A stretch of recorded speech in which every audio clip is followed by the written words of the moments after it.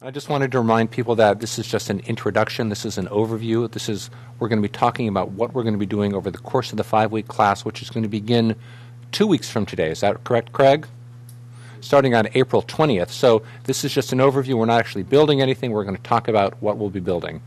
PSD to HTML or Photoshop to HTML. You could actually be using any image editor you want, but we're assuming that most of you are using Photoshop out there as the de facto image editing tool. And I've taught a lot of workshops in web design. I've taught a lot of one day classes in Flash and Dreamweaver. And a common recurring theme that I've seen in people is they're really good designers. They know how to design things, they have great design comps, and not to malign anyone from any certain age group, but more often than not, the people that I'm finding are who are over 40, who learned how to design perhaps 15 years ago, they kind of missed out on the whole web thing. And they're seeing that they've got a lot of potential clients who they're losing business to because they're doing great print work for them. Then the client is saying, Can you also design a web page for me? And either they're saying, No, I can't do that because I don't do web pages, or they've gotten themselves into a situation where they say, Of course I can do that. And they're designing things in Photoshop and they're working with a developer who's turning that into functioning pages. There's nothing wrong with working that way, but as the marketplace becomes leaner, as things become more competitive, in a certain sense, you're you're not as viable, you're not as competitive if you can't turn those Photoshop comps into web pages yourself. And I've seen a lot of people who are in this position and they say, you know, I could just, if only I knew how to turn that PSD comp, I know how to design for the web, I understand all the principles and limitations and challenges. If I could just get it into HTML myself, I could take one more person out of the equation, I could speed up my workflow, I could get more business, I could stop turning down jobs.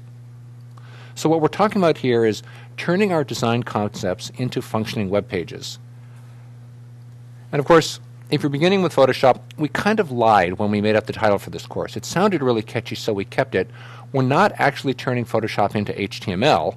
We need HTML, but what we're really doing here over the course of the five weeks is we're going to learn how to turn our Photoshop pages into HTML documents because it's the HTML document that actually gets viewed in the browser but the way it starts to look like something is through the use of CSS. So this isn't really an HTML class, it's a CSS class. And I tell people who are just getting started in web design now, if you're going to learn one thing, don't spend a lot of time learning HTML. The HTML is out there. You know, you need to know how it works. You need to be able to recognize its structure, but memorizing every tag is not a good use of your time. If you want to start building web pages and getting work as an interactive designer, the key skill that you need to learn is CSS. And of course, the tool that we're going to be doing this in is Dreamweaver. So the real focus of this class is going from Photoshop, taking a Photoshop file, slicing it up into separate images, then creating an HTML doc, and then using cascading style sheets to make it look exactly, well, we say almost exactly, like the original PSD file. I think the rule of thumb for designers, we like to promise, um, or web designers, we like to promise that we're going to get pixel perfect precision to the original Photoshop comp. I'm going to set the bar a little lower and aim for about 98% precision because sometimes we have to make some compromises along the way. So, what are we going to be learning, or what do you need to be familiar with or getting refamiliar with if you want to be taking this course? The core concepts we're talking about are the separation of presentation and content before you go any further in your web design studies, make it be clear that you understand the separation of presentation and content. When I'm referring to these two things, I'm really saying that CSS is the presentation and HTML is the content. We're also going to be talking a lot about semantic markup. When we talk about building a web page, it means using the right tag for the right reason. That means, means using tags like H1, H2, paragraph tags, the UL tag or unordered lists, anchor tags, and so forth. Do you need to know how to write all these tags? Not really. Dream, Dreamweaver is going to write most of these tags for you. You just need to recognize them and know when to use the right tag in the right place. Another important thing that we'll be going over is the CSS box model. You cannot go anywhere without understanding the CSS box model. And we're talking about using margin and padding. Make sure you understand the difference between those two, but turning your HTML document into a functioning web page that looks a lot like that Photoshop comp will be dependent on using the CSS box model. We can't forget about using lists for navigation, the, the UL tag and the LI tags, because when you talk about making a website, when we talk about semantic markup, when we talk about using logic and order, and we talk about building our site for searchability or to respond to search engines, what better way to make your navigation bar than to make a list of the entire contents of the site? So, best practices in web design means you might have think you might be thinking that you've built a nav bar in Photoshop, but when you get into Dreamweaver and CSS and HTML, that needs to be an unordered list which is populated by list items. Most people, many people confuse those two, the UL tag and the LI tag. I will be going over those points repeatedly till they're clear. And you can't build a web page these days without using div tags for layouts. If you're still in the world of table based web design, it's time to just stop using tables for layout. Only use tables for displaying tabular data. Control your page layout with div tags. And you're going to need to be familiar with the concept of floats and positioning to control that layout. So, if many of you are thinking, oh no, this is over my head, I can't possibly remember this, don't worry the five weeks that we're going to be doing this, the exercise files that I've built, I've structured based on the principle of repetition. We're going to be approaching these concepts every week, getting a little more difficult and complex with each week. So if it sounds completely foreign, don't worry, we're going to start small and build up. And we can't forget about accessibility. Um, accessibility is really important in web design. While some people do it for socially conscious reasons or to make pages more accessible to everyone who could possibly be using the World Wide Web when we talk about ubiquity. The real reason you want to make accessible client pages accessible, or the real reason you're going to want to tell your clients that we want to make our pages accessible, is that accessible pages get better search results. So we're going to strive to follow best practices, but I have a couple of disclaimers here because I can't possibly keep everyone happy. These projects are designed to work in all modern browsers. That means it's going to work in Internet Explorer 7, Firefox, Safari, Chrome, and Opera. Actually, I should say my goal is to make it work in all these modern browsers.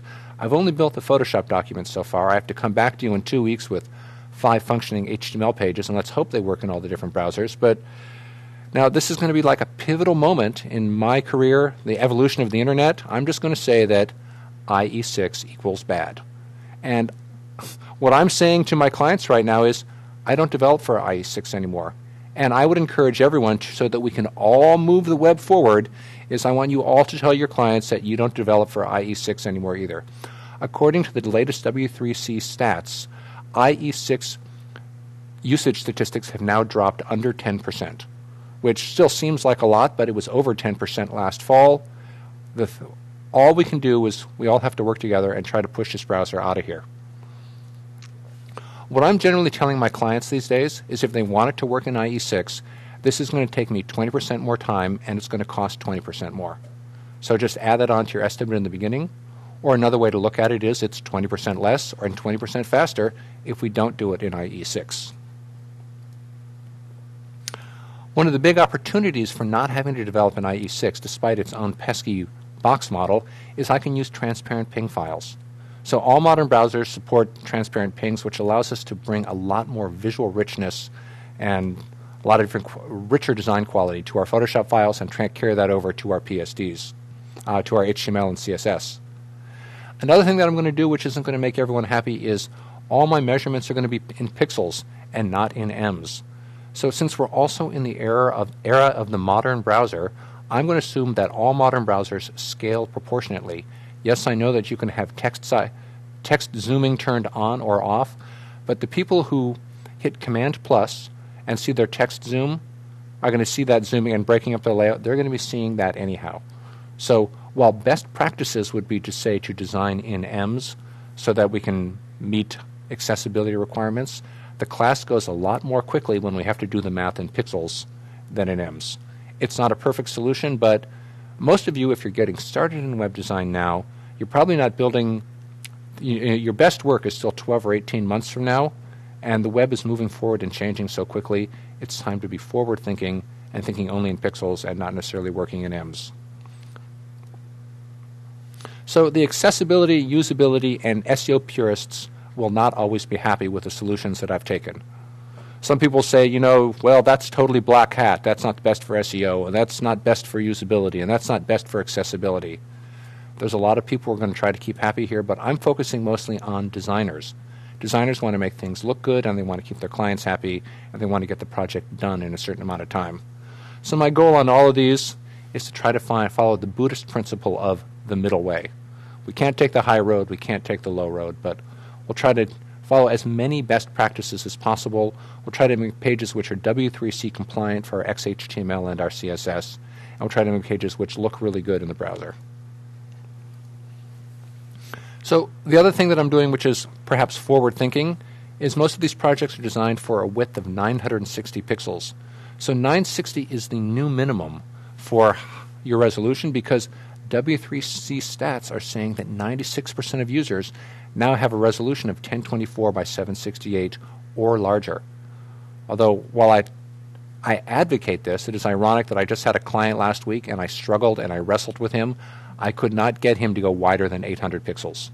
800 by 600 is what he wants, wanted because he said, I don't want to have to do a little scrolling.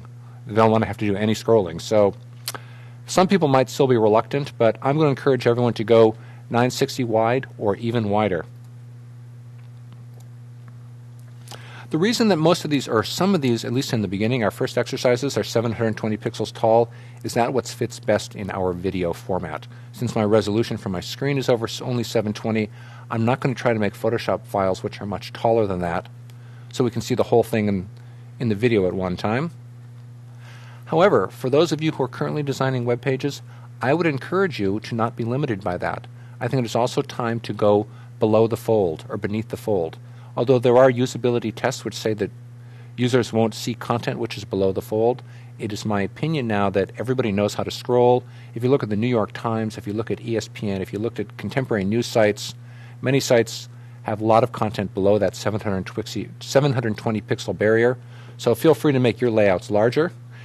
I was reading a good article from Jakob Nielsen this morning, um, his usability, um, it, Use It, the website Use It, his usability alerts that said if the content is good, if you have something really important at the bottom, people will scroll down to it. But if you fill it up with fluff, it's going to get ignored.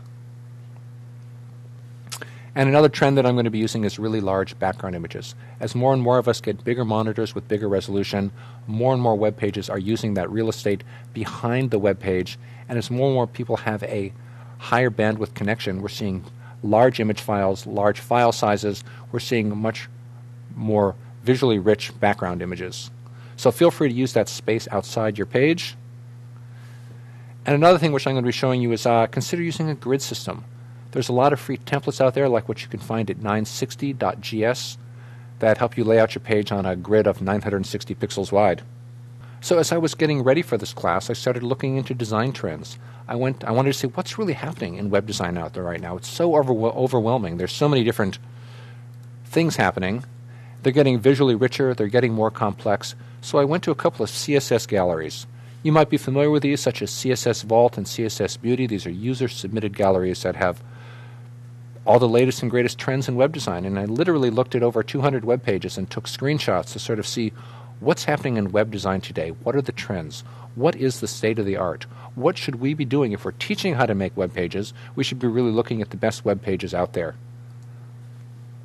What I'm seeing is more rich textures, more gradients, more lighting effects. I'm seeing more drop shadows, more illusions of 3D space. What I'm seeing is, especially through the use of ping files, I'm seeing all the great tricks that you can see in Photoshop, and I'm seeing that being applied successfully into web pages. Three, four, five years ago, things were a lot flatter. File sizes were smaller. Ping transparency wasn't really, really an option. Things just, the web of four or five years ago looked dull in comparison. So everything is getting richer, and these Photoshop concepts are getting transferred successfully into HTML and CSS. I'm also seeing more assertive typography, and one of the things we're going to do in uh, our fifth exercise is go beyond web safe fonts. So it's a really exciting time, I think, in terms of design trends, especially in terms of interactivity. I'm seeing, especially with jQuery, everyone wants something flashy. And 18 months ago, that meant Flash. But there are so many more options out now out there right now, particularly what you can do with jQuery. If you haven't heard of jQuery, it's time to start reading the design blogs because it's everywhere on the web right now. Matter of fact, even on the Creative Live website right now, we've got an image slideshow rotator, which I bet is being done with jQuery. If you've been watching slideshows, if you've been watching a lot of the new interactivity that's happening in web design right now, it's probably being done with jQuery. What is jQuery? You're probably you're asking. That is a compact JavaScript framework that allows dynamic animation to be added to your web page. Now, if you're thinking, oh, wait a minute, you, you lost me at HTML and CSS. I didn't want to learn how to write any JavaScript. Don't worry about it. There's not a whole lot of jQuery you need to write. We're just going to be cutting and pasting some code. You just need to know how to implement the web development that someone else has done and know how to put that into your HTML document so you've got some interactivity and bring it to life because everybody's asking for something interactive these days.